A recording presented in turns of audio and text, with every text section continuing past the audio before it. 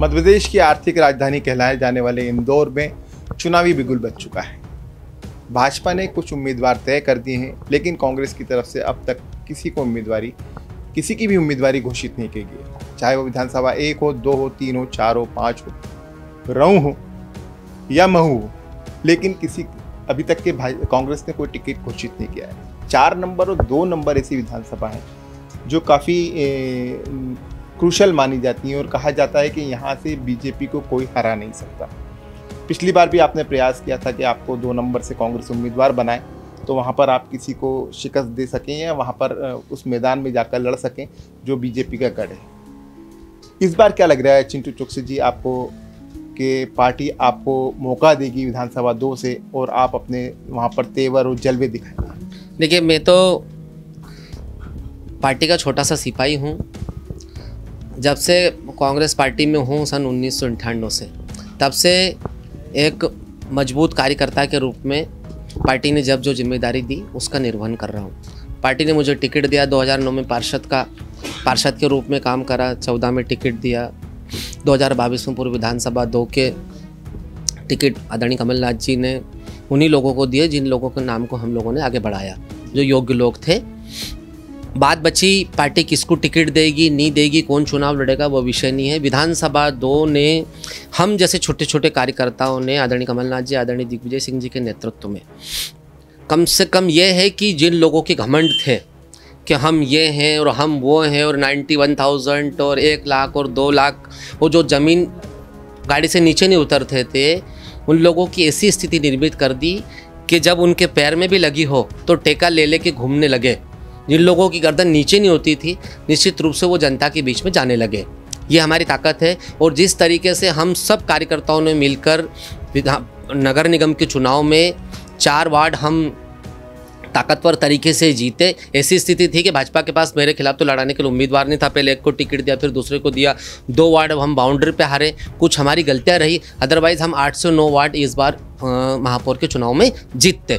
नगर निगम के चुनाव में हम जीतते। और उसके साथ साथ एक जानकारी पैमाना रहेगा। एक और जानकारी आपको बता दूँ मैं कि जब नगर निगम के चुनाव हुए एक वोट पार्षद को डाला एक महापौर को डाला तो पूरे शहर में अगर कांग्रेस पार्टी का कहीं वोट बढ़ा सब दूर घटा पाँच नंबर विधानसभा में छः हज़ार वोट बढ़े और हमारी विधानसभा में हम हारे थे बहत्तर हज़ार से हम हारे अड़तीस हज़ार से लगभग लगभग चौंतीस हज़ार वोट कांग्रेस पार्टी के विधानसभा दो में बढ़े ये जो सब तो आपको क्या लगता है कि बीजेपी की जो वर्तमान विधायक हैं रमेश मेंदुला अब लोग उनसे उकता गए हैं?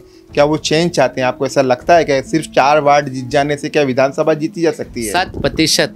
देखिए आज मैं बोलूँगा कि चिंटू चौक से चुनाव जीतेगा और ऐतिहासिक वोटों से जीतेगा तो कोई नहीं मानेगा। छः बार से जीती हुई है बड़े नेता लोग हैं। कहीं कोई बड़ा नहीं होता है। अपना काम ईमानदारी से करो जो ईश्वर ने दिया उसको ताकतवर तरीके से पूरा निष्ठा और समर्पण भाव से निभाओ जनता आपके साथ खड़ी होगी। आज मैं ये महसूस करता हूँ कि हमको कोई इतना सा भी तनाव नहीं इलेक्शन को लेकर। हमको लगता है शत प्रतिशत कम से कम पच्चीस हज़ार वोटों से चुनाव जीतेंगे। और ये आने वाले समय में इंदौर की जनता और प्रदेश की जनता देखेगी कि चिंटू चौकसे ने जो नगर निगम के ऑफ़िस में अरशद भाई को बोला था वो सच साबित हुआ। आपको ऐसा नहीं लगता है कि विधानसभा दो में वापस रमेश मेंदोला ही आएँगे? हो सकता है क्योंकि भाजपा अब तक के तय नहीं कर पाई कि विधानसभा दो से किसको मौका दिया जाए। नया कैंडिडेट आता है तो आपके लिए फ़ायदेमंद है या रमेश मेंदोला को ही अगर वहाँ से मौका दिया जाता है तो वो आपके लिए फ़ायदेमंद है? आप उनसे अच्छी फाइट कर पाएँगे। देखिए रमेश जी आएँगे कि कोई ए आएगा बी आएगा, कोई सब्जेक्ट ही नहीं है। हमको तो अपनी बात कहना है कि चिंटू चौक से राजू भदौरिया और पूरी टीम ने विधानसभा दो के लोगों के साथ सुख दुख के साथी परिवार के साथी है और उनके आशीर्वाद से चार पार्षद हम जीते, दो पार्षद हम बाउंड्री पे हारे।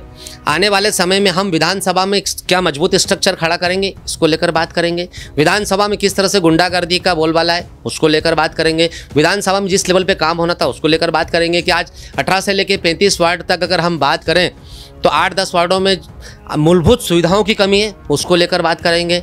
एक स्पोर्ट्स कॉम्प्लेक्स बहुत बड़ा होना चाहिए उसको लेकर बात करेंगे। सुगनी देवी कॉलेज बंद होने की स्थिति में आ गया और आपने अपने भवाई के लिए अपने दूसरा कॉलेज चालू करवा लिया उसकी क्या स्थिति होगी उसको लेकर बात करेंगे।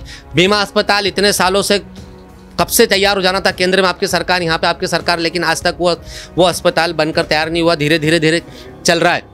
आने वाले समय में चंदाखोरी से दो नंबर विधानसभा को कैसे मुक्त करें इसको लेकर बात करेंगे। और आपका आपका विधायक आपका बेटा आपके घर आके आपके काम करे, इसको लेकर बात करेंगे कि पंद्रह सालों में आदरणीय विधायक जी, कौन सी गली में गए तो और किसकी समस्या समझी और किसकी समस्या को हल करा? ऐसी बात नहीं है, जिंटू भाई, मैं भी देख रहा हूँ, लंबे समय से जब से वो राजनीति में और मुझे भी तकरीबन 25 साल पत्रकारिता में हो गए। तो आपको ऐसा नहीं लगता, उन विधानसभा दो में काम तो हुआ, एक एक समय ये था, विधानसभा क्षेत्र दो ऐसा कहलाता था मालवा मिल, पाटनीपुरा, परदेसीपुरा, इन इलाकों में कभी डेवलपमेंट नहीं देखा गया था। लेकिन क्या आपके भी पार्षद रहते हुए, आपने अपने वार्ड में विकास कार्य किए, वो भी विधानसभा दो में आते हैं। आपको ऐसा नहीं लगता है वहाँ विकास कार्य हुए तो हैं? देखिए, विकास निरंतर चलती हुई प्रक्रिया है। जैसे बच्चा पैदा होगा तो बढ़ेगा धीरे धीरे धीरे। जब जब देश आज़ाद हुआ था तो हमारे देश में सुई भी नहीं बनती थी। सुई से लेके हेलीका एरोप्लेन तक का सफ़र, चंद्रयान तक पहुँचने का सफ़र, हमने स्टेप बाय स्टेप तय करा। तो विकास तो ऐसी चीज़ है जो भाजपा रहे या कांग्रेस रहे, होना ही होना है। लेकिन विकास सिस्टमेटिक होता है कि अव्यवस्थित विकास है। विकास लोगों के घर जाके हो रहा है कि आप लोगों को घर बुला के कर रहे हो। विकास को, विकास में आप लोगों को शुद्ध पानी दे पा रहे हो कि नहीं दे पा रहे हो? ये बड़ी प्रॉब्लम है। आज अगर विधानसभा दो की बात करें तो इसी दो नंबर विधानसभा में तीस नंबर वार्ड आता है बर्फानी धाम अगर मैं झूठ बोल रहा हूँ तो। बर्फानी धाम वाला वार्ड आप जाके देखिए। वहाँ ना वहाँ सड़क है, ना वहाँ पानी की व्यवस्था है ना स्टम वाटर की व्यवस्था है बैक लाइन में इतनी गंदगी है कि हम कल्पना भी नहीं कर सकते, हम सोच भी नहीं सकते कि ये वार्ड इंदौर शहर का वार्ड है और यहाँ कितनी नरक जैसी स्थिति निर्मित है, ये भी विधानसभा दो कोई वार्ड है। हम अभी अठारह नंबर वार्ड में लगातार जा रहे हैं, जहाँ देखो वहाँ कच्ची पड़ी सड़कें हैं, जहाँ देखो वहाँ गंदगी है, पानी की अपार समस्याएँ कोई सुनने वाला नहीं है। और सबसे बड़ी बात है कि आदरणीय विधायक जी पिछले पंद्रह सालों में मेरे ख्याल से पूरे क्षेत्र में एक बार भी उन्होंने भ्रमण नहीं करा। ये बहुत बड़ा मुद्दा है। मेरा आपसे अंतिम सवाल है। पिछली बार तो मोहन सिंगर जी को टिकट दे दे दिया गया था लेकिन वो सिंधिया जी के साथ भाजपा में शामिल हो गए। क्या कांग्रेस हाईकमान ने आपको हरी झंडी दे दी है? आप विधानसभा दो से चुनाव मैदान में उतरेंगे। देखिए पार्टी पार्टी ने मुझे पार्षद के टिकट दिए मेरे को दिया राजू को दिया हम सब जीते। मेरे को नगर निगम के नेता प्रतिपक्ष की ज़िम्मेदारी दी और ईश्वर के आशीर्वाद से मैंने उसको बखी बखूबी और पूरी ईमानदारी से निभाने की कोशिश कर रहा हूँ, ताकतवर तरीके से काम कर रहा हूँ। ये हाईकमान को तय करना है, किसको लड़ाना है, किसको नहीं लड़ाना है। पार्टी जो तय करेगी, मुझे दे, किसी और को दे, जिसको देगी, हम पार्टी के समर्पित कार्यकर्ता के रूप में पार्टी के लिए काम करेंगे। धन्यवाद, हमसे बात करते हैं चिंटू चौक से, जो इंदौर नगर निगम के नेता प्रतिपक्ष हैं और विधानसभा दो से कांग्रेस की दावेदारी कर रहे हैं। उनकी दावेदारी पहले भी थी लेकिन इस बार कोई कांटा सामने नज़र नहीं आ रहा है। यानी ये माना जा सकता है कि आने वाले समय में कांग्रेस के विधानसभा दो से प्रत्याशी के रूप में चिंटू चौकसी होंगे। कैमरा पर्सन विशाल के साथ अरशद खान।